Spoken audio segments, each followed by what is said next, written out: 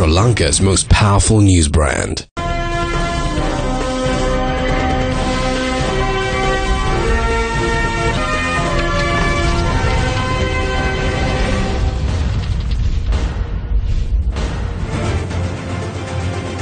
අයිබෝන් මේ සටන අඩපැය. මේ දවස්වල රටම කතා කරන්නේ දූෂණ වංචා ගැන. එක පැත්තකින් මහ බැංකු බැඳුම් කර ගනුදෙනුව. තවත් පැත්තකින් මහ පරිමාණ දූෂණ වංචා සෙවීමේ ජනාධිපති විශේෂ ජනාධිපති කොමිසමේ වාර්තාව. ඒ අතරේ දැන් රටම උණුසුම් කරමින් පළාත් පාලන ආයතන 341ක ඡන්දයට දේශපාලන පක්ෂ සූදානම් වෙනවා. මේ දේශපාලන උණුසුම අතරේ අපි අද ආරාධනා කළා රටේ රාජ්‍ය ආයතනවල මූල්‍ය පාලනය වගේම ඒවායේ ලාභ පාඩු ගැන සෙවීමට පත් කරපු කෝප් කමිටුවේ මුල් පුටුව හොබවන මහජන නියෝජිතයාට ඒ තමයි වත්මන් පාර්ලිමේන්තුවේ කෝප් කමිටුවේ සභාපතිවරයා ලෙස කටයුතු කරන ජනතා විමුක්ති පෙරමුණේ පාර්ලිමේන්තු මන්ත්‍රී සුනිල් හඳුන්නෙත්ති මහතා ආයිබෝන මෙතුමනි මන්ත්‍රීතුමනි ඒ වගේම තමයි ඔහුගෙන් ඍජුව ප්‍රශ්න ඇසීමට සුපුරුදු පරිදි ජේෂ්ඨ මාධ්‍යවේදී සුරංග සේනානායක මහතාත් අපිත් එක්ක එකතලා ඉන්නවා. සුරංග ආයිබෝන්. ආයිබෝන් රශ්මා. සුරංග. මට හිතෙනවා පටන් ගන්න ඕන පොදු ව්‍යාපාර කාරක සභාවේ සභාපතිතුමා කියන හැඳින්වීම. ඔව් හරි. මෙහෙම අහන්න. මහින්ද රාජපක්ෂ දැන් ඉන්න മന്ത്രിතුමාගේ වචනකින් ඔබට සතුටුයිද දැන්? ඇයි දන්නවද මම එහෙම අහන්නේ? ඔබේ වார்த்தාවම නේද මේ යලිත හවු වෙලා තියෙන්නේ ජනාධිපති කොමිෂන් සභාව හරහා. ඔබට සතුටුයිද දැන්? තාම සතුටු නෑ. හැබැයි තහවුරු වෙලා තියෙන මේ වார்த்தාවම තමයි සුරන්ද. මම ඒක පැහැදිලි කියන්න මොකද අද කෝප් කමිටුවේ වාර්තාවෙන් අපි දීපු නිර්දේශ නිගමනම තවදුරටත් ජනාධිපති කොමිෂම විසින් තහවුරු කරලා තියෙන බව ඒ කොමිෂමේ සම්පූර්ණ වාර්තාව දැක්කේ නැතත් ජනාධිපතිතුමා විසින් රටට ඉදිරිපත් කරපු ප්‍රකාශය තුල අඩංගු කරුණු අනුව පැහැදිලි වෙනවා. විශේෂයෙන්ම අපි මේ කෝප් කමිටුවේදී කිව්වා මහ බැංකු අධිපතිවරයා ඍජුව මේ ගනුදෙනුවට වටකිය යුතුයි කියලා. අර්ජුන මහේන්ද්‍ර. ඒ වගේම ඔහුගේ බෑනාගේ සමාගම විශාල අයුතු ලාභයක් ලබා තියෙනවා කියන එක ඒ මොහොතේදී අපි දැක්කා. ඒ මොහොතට අනුව. ඊළඟට ඒ තියෙන සීමිත සාක්ෂි මත පමණක් උනත් අපිට පැහැදුනා මේක රජයට වෙච්ච විශාල ලාභයක්. මේක නිසා මුළු ආර්ථිකයටම බලපාපු ලාභයක් තියෙනවා. මේක ඉලක්කමකින් ගණන් කරන්න බෑ. මොකද බැංකු පොලි අනුපාතය ඉහළ ගියා. කොටස් වෙනද පොළ විකෘති වුණා. ගොවි ජනතාවට බලපෑවා. මුළු ආර්ථිකයටම බලපෑවා. කෝටි 1100 ගණන. නෑ කෝටි 1100 ගණන කියන්නේ මාස 5කදී ඒගොල්ලෝ ලබාගත්ත ලාභය එහෙම නැත්නම් රජයට වෙච්ච පාඩුව. ඒක පමණයි. ඒක වැරදි. 30ක්. අවුරුදු 35කට බලපාන ගම්දුමා. දැන් ඉලක්කමක් කියන්නේ කොහොමද සුරංග එදා පොලිය 109යි තිබිච්ච පොලියට බැංකු ණයක් ගත්ත ගොවි මහත්තයෙක් නැවත 115ට ඒ පොලිය ගෙවන්න සිද්ධ වුණා.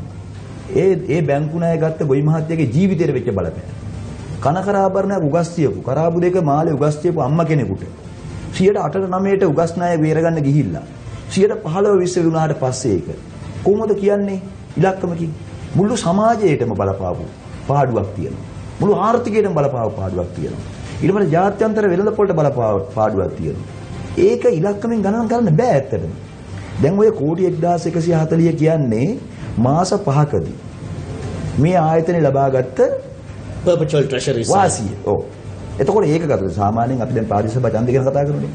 බොහෝ අපේ රටේ 340 ගාණක් පාරිසභ වලින් වැඩි ප්‍රමාණයක ආදායම ලාභෙ නෙමෙයි. ආදායම මාසෙක අවුරුද්දකට තියෙයි කෝටි දෙකක්. ඒ කියන්නේ ප්‍රාදේශීය සභාවක් ගත්තොත් අවුරුදු 550 හොයන ආදායම හරිද? මේගොල්ලෝ මාස 5න් හොයලා තියෙනවා. මේගොල්ලෝ මාස 5න් හොයලා තියෙනවා. ඉතින් මේක තමයි මේ අපරාධය. ඒක මේ ඉලක්කමකින් කිව්වොත් කවුරු හරි දැන් මෙන්න මේ කෝටි 1140 හොයාගන්න දැන් ඒක රජයට පවර ගන්න කියලා. මන්තු ඒ කියන්නේ අර කෝටි දෙක කුණු ටික අස් කරන්න, වීදි ලාම්පු දාන්න, පාරවල් ටික හදන්න. මේ සියල්ලටම වියදම් කරන එකනේ. වියදම් කරන එක මුළු ආදායම, අවුරුද්දක මුළු ආදායම මේගොල්ලොන්ගේ මාස 5ක ලාභය. ලාභය අවුරුදු 550කට. මම කියන්නේ ඒකයි. ප්‍රාදේශ සභාවක් අවුරුදු 550ක් හොයන ආදායම මේගොල්ලෝ ලාභය හැටියට මාස පහෙන් හොයලා තියෙනවා. එකක්. ඒක විතරක් නෙමෙයි හැබැයි. මේක හරිම වැරදි. මම කියන මාධ්‍යවලත් ඔබතුමාලා මේ ඉලක්කමක් අල්ලගත්තම තියෙන ගැටලුව තියෙන්නේ. මොකද ඉලක්කමකින් කියන්නේ මේ මොහොතේ වෙච්ච ඒ මාස පහේ වෙච්ච ඒගොල්ලෝගේ ආදායම. හැබැයි මුළු රටට බලපාපු හැටි. ඔබ. කියන්නේ උත්සාහ දරන්නේ මේ කෝටි ගණන් වලින් නෙවෙයි. නෙමෙයි. මේක මේ දැවැන්ත ශ්‍රී ලංකා සමාජයට වෙච්ච බලපෑම. ඊළඟට මේ හිතන්න කුසරංග. කෝප් වාර්ක සභාවෙනුත් ජනාධිපති කොමිසමෙනුත් මේක හෙළිදරව් නොවුණා නම් මේ ගනුදෙනු අවුරුදු 35ක්ම සිද්ධ වෙනවා. යට මේ ගනුදෙනුව මේ ආයතනය දිනපතා පැටවු ගහමින් ලාභ ලබමින් කිසි ප්‍රශ්නයක් නැතුව සිද්ධ වෙනවා. එතකොට රටේ පොලි අනුපාතය 129ට 30ට නගීවි. අපි දන්නේ නැහැ මොකද වෙන්නේ කියලා. රටේ. ජනතාව දන්නේ නැහැ. අපි ගෙවනවා. ඉතින් ඒක නිසා මම කියන්නේ ඒකයි. කෝප් කමිටුව මට මට ඒකේ මේ මගේ කාරක සභාවට මේකේ සමස්තය අවශ්‍ය නැහැ. නමුත් එදා කා- කෝප් කමිටුවෙන් මේ ගනුදෙනුව එළියට එන්න, ඒ මේ වංචාව හෙළිදරව් වෙන එක වළක්වන්න සමහරු දරපු උත්සාහය ජයග්‍රහණය කරා නම් අද මේ ජනාධිපති කොමිසම ළඟට මේක යන්නේ නැහැ. ජනාධිපති කොමිසමක් දක්වා මේක ගිහිල්ලා මේක විස්තරාත්මක මට්ටමකටපත් උනේ එදා අපි මොනතරම් පීඩනයක් මැද්දේ හරි මොනතරම් බලපෑම් මැද්දේ හරි මේක එලිදරව් කරපු නිසා මට ඒ නිහතමානී සතුට තියෙනවා. අර හැබැයි- ඔබ සතු ඔබට සතුටුයිද දැන් කියන සතුට මට තියෙන්නේ ජනාධිපති කොමිසමකින් මේක තවදුරටත් විස්තරාත්මකව තහවුරු වෙච්ච නිසා. හිතන්නකෝ මෙහෙම වුණා නම් දැන් ජනාධිපති කොමිසමෙන් ආපු උත්තරයයි කෝප් වාර්තාවෙන් ආපු උත්තරයයි දෙකක් වුණා නම් මොකද? පරස්පර වුණා. අද එහෙනම් මාව කනව නේද? හඳුන්නේ තිබැයි. හරිද?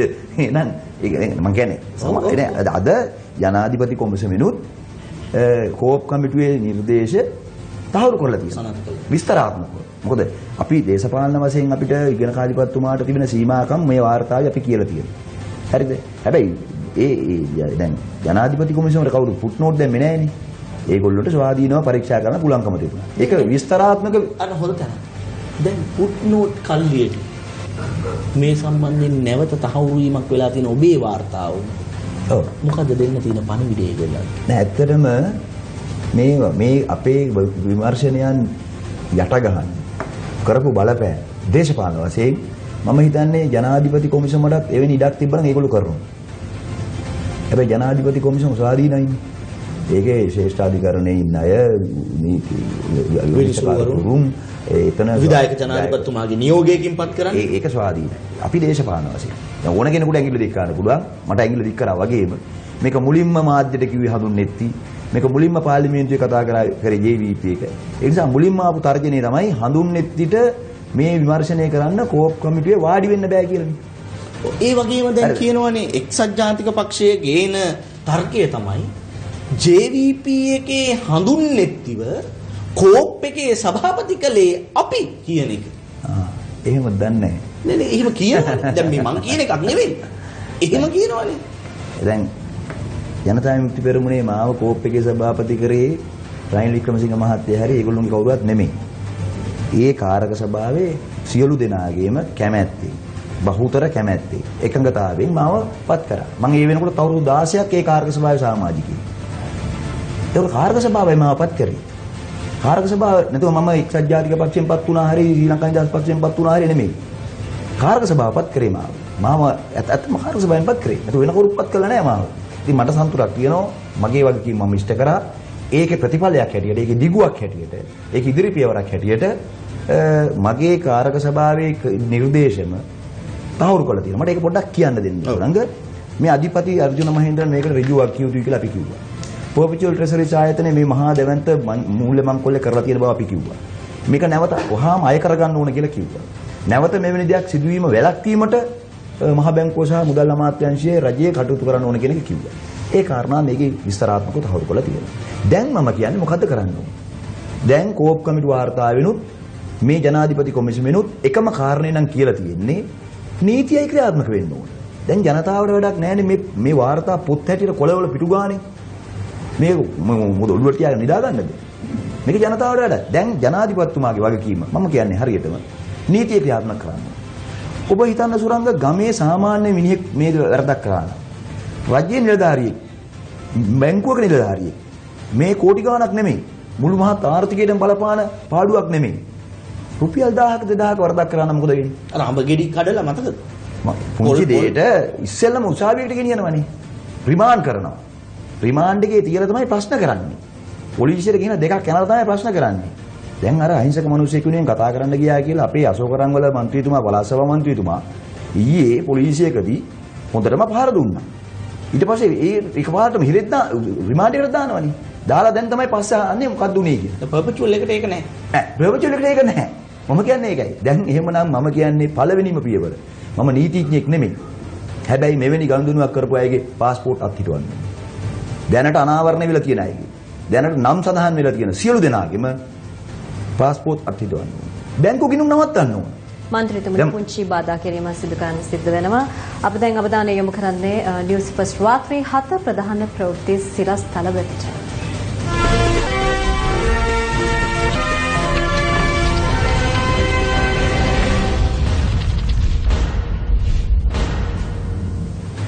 ඔබ යලිත් සටන අඩපෑ සමගින් සුරංග සුනිල් හඳුන්වතිවන්තුමනි දැන් මේ වාර්තාව මම නම් දැක්කේ නෑ. හැබැයි මම ඔබතුමාගේ කෝප් වාර්තාවේ විග්‍රහයන් සහ ඔබතුමාගේ කතාව හරි පැහැදිලිව සමන් දීලා තිනවා කෝප් චෑමන් විදියට. දැන් සමහරු කියනවා මට ඇහුණා මේ මේ මෑත භාගේ මේ අගමැතිතුමා මේකට වගකිව යුතු නෑ කියලා කෝප් එකෙත් තියෙනවා. මේ මේ වාර්තාවෙත් තියෙනවා කියලා මම අහන්න කැමතියි ඔබතුමාගෙන්. මහ බැංකුව කියන විෂය අග්‍රාමාත්‍යවරයා යටතේ තමයි ගැසට් වෙලා තිබුණේ. එතකොට එහෙම ඇත්තටම එතුමා සම්බන්ධයෙන් කිසිම වගකීමක් නැද්ද මේවයි? උඩ පොඩි නිවැරදි කිරීමක් තියෙනවා. මහ බැංකුව ගැසට් වෙලා තියෙන්නේ අග්‍රාමාත්‍යවරයාටද නෙමෙයි. මුදල් අමාත්‍යාංශයට. එතකොට මුදල් අමාත්‍යාංශය යටතේ තියෙන නිසා තමයි මුදල් මණ්ඩලයේ තුල මුදල් අමාත්‍යාංශයේ ලේකම්වරයා ඉන්නේ මහ බැංකුව වෙනුවෙන්. හරිද? දැන් ඒක තිබිච්ච එක අග්‍රාමාත්‍යවරයාගේ අමාත්‍යාංශයට ප්‍රතිපත්ති සම්පාදන අමාත්‍යාංශය යටතට ගත්තේ මේ අග්‍රාමාත්‍යවරයා. ඒ මම කියන්නේ මම නේ මම අහන්නේ ඔබතුමාගෙන්. රනිල් වික්‍රමසිංහ අග්‍රාමාත්‍යවරයා යටතේ මේක ගැසට් වෙලා තිබුණේ. ඔව් ඒක ඒක තමයි තියෙන්නේ. දැන් එතකොට මේ මහ බැංකුවේ අධිපතිවරයා මේ මූල්‍ය වංචාවට ලක් වෙන වෙලාවේදී කටයුතු කරන වෙලාවේදී තිබුණේ අමාත්‍ය දුරේ? අමාත්‍යවරයා විශේෂභාර අමාත්‍යවරයා රනිල් වික්‍රමසිංහ මහතා. එක. ඒ විතරක් නෙමෙයි. සිංගප්පූරුවේ හිටපු මෙතුමාව ලංකාවට ගෙනල්ලා මෙතුමාට අධිපතිකම දෙන්නේ රනිල් වික්‍රමසිංහ මහතා. කවුද මෙතුමා? අර්ජුන මහේන්ද්‍ර මහත්තයාට. ඊළඟට දෙවෙනි කාරණේ තමයි මේ ගනුදෙනුව සිද්ධ වුණාට පස්සේ මේ වංචාව ක්‍රියාවලිය සිද්ධ වුණාට පස්සේ මේ පිළිබඳව වෙනම කමිටුවක් දාන්නේ සිරිකොතේ එතුමාගේ නීතිඥයෝ දාලා ඒ කියන්නේ පිටිපන කමිටුව. පිටිපන කමිටුව රනිල් වික්‍රමසිංහ මහතා. ඒ කියන්නේ මේ නීතිඥයෝ තුන්දෙනාම සමාජයේ කියන එක්සත් ජාතික පක්ෂ ඒක පැහැදිලිනේ. සම්බන්ධයි කියලා. සම්බන්ධයි. හරි ඒක කමක් නැහැ කියමුකෝ. දැන් ස්වාධීනත්වයක් තිබුණේ නැහැ. ඊට පස්සේ ඒක නැවත පාර්ලිමේන්තුවේ අභියෝගයට ලක් වුණාම තමයි කෝප් කමිටුවට මගේ සභාපතිත්වය යටතේ මේක බාර වෙන්නේ. ඒ වෙනකොටත් කලින් විමර්ශනය සිද්ධ වුණා. ඩියු ගුණසේකර සභාපතිතුමාට මේක ඉදිරිපත් කරන්න බැරි වුණේ සමහර විතර මේ පාර්ලිමේන්තුව ඉස්සරහිච්ච නිසා කියලා. නෑ. ඒ කාරක සභාව අනු කමිටුවක් විතරයි. ඒත් ප්‍රධාන කමිටුවට ගෙනල්ලා සම්මත කරන කාලයක් යන නිසා ඒක තෙන් නතර වුණා. ඊළඟට මගේ අර්ථරාවට පස්සේ අග්‍රාමාත්‍යතුමා පාර්ලිමේන්තුවේ ප්‍රධානියා වගේම අර කැබිනට් මණ්ඩලයේ වගකීම් හැටියට මොකද කරේ? සුජීව සේනසිංහ මන්ත්‍රීතුමාව පත් කරා මේකට අතරමැදි. ඒතර වේලු කුමාර? වේලු කුමාර මන්ත්‍රීතුමා ඉවත් කරලා. ඒත් වේලු කුමාර මන්ත්‍රීතුමා ඉවත් කරන්න කිසිම හේතුවක් තිබුණේ නැහැ. ඊර ඊළඟට මේ ඒ ඒ ඒ බලපෑමට අපි යට වුණ නැතුණාට පස්සේ ඔබ කවුරුත් දන්නවා මේකට පුට් නෝට් දැම්ම මේ වාර්තාවේ. ඒ කියන්නේ අර ඉතිහාස පළවෙනි වතාවට? කපන්න බැරි යත ඉඹින්න වගේ. හරිද? ඊට පස්සේ ඔබට මතකයි රනිල් වික්‍රමසිංහ අග්‍රාමාත්‍යතුමා අනුර දිසානායක සහෝදරයා පාර්ලිමේන්තුවේ කරපු පැහැදිලි කිරීමකට මේ පිළිබඳව ඉතා පැහැදිලිව කිව්වා අ, අර්ජුන මහේන්ද්‍රන්ව නිවැරදි කෙනෙක් කියලා. මේකට වග කියන්න ඕනේ නැහැ කියලා. බොහොම සුද්ධ කිරීමක් කළා පාර්ලිමේන්තුවේ ඒවා හැන්සාඩ් වල තියෙනවා. ඊට පස්සේ අ, මේක පාර්ලිමේන්තුවට සභාගත කරපු ඔක්තෝබර් 28 වෙනිදා අ, අර්ජුන මහේන්ද්‍රන් රටින් පිට වුණාම රනිල් වික්‍රමසිංහ මහත්තයාට කියලා වෙඩින් එකකට ගියා කියලා තමයි ඒකත් කිව්වේ. මේ ආදී වශයෙන් ගත්තොත් මුළු ක්‍රියාවලියම සිංගප්පූරු ජාතිකයෙක් ලංකාවට ගෙනල්ලා අධිපතිකම් බාර දීලා මුදල් අමාත්‍යාංශයට තිබිච්ච මහ බැංකුව තමන්ගේ අතට ගැනීම. ඊළඟට තමන්ගේම නීතිඥවරු පත් කරලා විමර්ශනයක් කිරීම. පාර්ලිමේන්තු කෝප්කාරක සභාවට අතරමැදින් අය පත් කිරීම. කාරක සභාවේ වාර්තාවට පුට්නෝට් යෙදීම. මේ මුළු ක්‍රියාවලියමයි දේශපාලන වශයෙන් ගත්තොත්. මේ ගනුදෙනුව මේ මංකොල්ලය මේ හොරකම ආරක්ෂා කරන්න කවුද කටයුතු කරේ? ඒකයි තියෙන ප්‍රධාන ප්‍රශ්නේ. වෙන රටක මේ වගේ දෙයක් වුණා නම් එහෙම. මේක නෙමෙයි කෝච්චියක් පෙරළුණා. විශේෂ බාර ඇමතිවරු ඉල්ලාස්යෙන් භූමිකම්පාවක් වෙච්ච වෙලාවක අපි දැක්කා සමහර රටවල් වල ඒකට පීඩනේ දරාගෙන බැරුව ඒකට වගකීම් බාරගෙන ඇම- විශේෂ බාර ඇමතිවරු ඉල්ලාසුණා කෝච්චියක් පෙරළුණාම ප්‍රවාහන ඇමතිවරු ඉල්ලාස් වෙන ලෝකෙ තියෙන රටක මේ තරම් අවුරුදු 35කට බලපාන මහා බැංකු මංකොල්ලයක් සිද්ධ වෙනවා. රටේ මධ්‍යම බැංකුව. කවුද වගකීම් බාරගන්නේ? කවුද වගකීම් බාරගෙන තියෙන්නේ දැන්? දැන් විශේෂ බාර ඇමතිවරයා හැටියට අපි අහනවා රනිල් වික්‍රමසිංහ ඇමතිතුමා. අගමැති නෙමෙයි. මොකද්ද අර බාරගෙන තියෙන වගකීම්?